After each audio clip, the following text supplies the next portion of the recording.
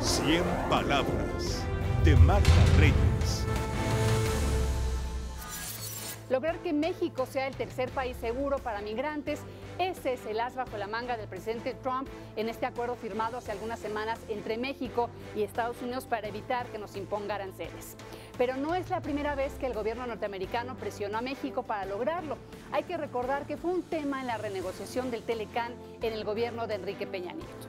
Marcelo Ebrard, secretario de Relaciones Exteriores, regresó sintiéndose triunfante con haber aceptado enviar elementos armados a la frontera sur.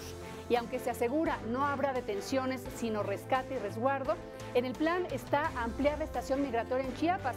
Se van a levantar bardas, se van a colocar rejas, se van a reforzar mecanismos de seguridad e incluso cámaras para evitar fugas. Así se anunció. ¿A usted esto le suena a cárcel o a refugio?